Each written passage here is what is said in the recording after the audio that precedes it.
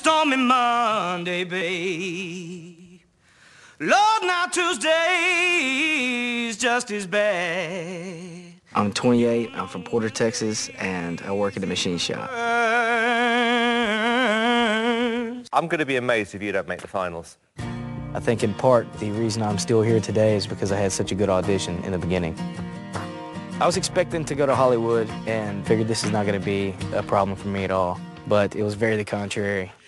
And this When it was time to sing, I was scared to death. I was looking for somebody to pull me off the stage. You sang through your nose, I was so embarrassed. and halfway through it looked like you'd been boiled. I had an emotional breakdown. I figured I was going back home. But now you see me on TV, so it's a different story. The person going through is... Sundance. You're going through. Tonight, I'm gonna put all the failures behind me. I plan on making it a good way in this show. So hopefully this ain't the last time you see me.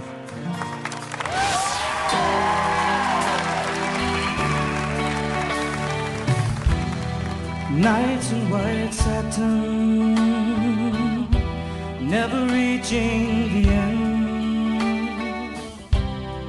Letters I've written, never meaning to send. Beauty I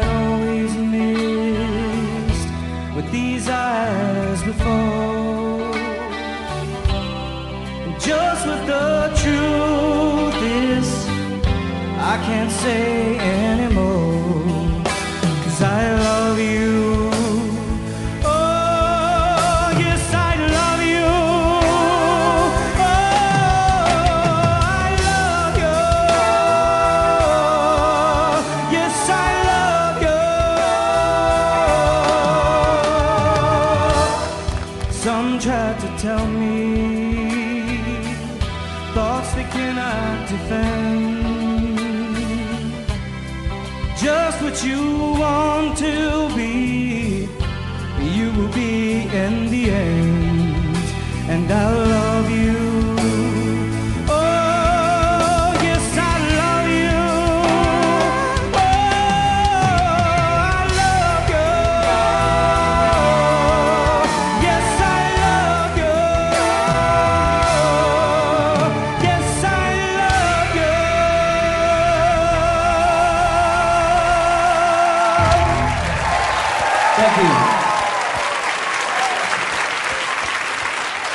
All right, so yo, dog. One of my favorites in the auditioning cities, because I, I love how you did that whole bluesy thing, but you've kind of abandoned that whole vibe now, and like, I don't even think you were on pitch the whole song. I think it was like pitchy all the way through. It's like almost not quite hitting the tone ever. It was really strange for me. I don't know. What do you think, Paul? I mean, I, Sundance, I think you picked the wrong song. I do. I think you're a much better singer than you just played. I think the pitch was all over the place. And you wowed us. You were one of the, the top singers. keep that bluesy vibe But going. it wasn't dog. there tonight. Okay. Yeah, you've gone right off since we first saw you. You came in quite rough, great voice, as Randy said, very kind of blues, and we love that.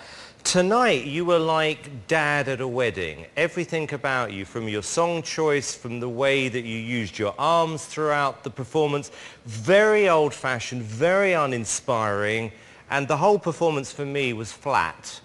And I think you've lost what we liked originally. I think if you'd have come in and did that on your first audition, you wouldn't have got through.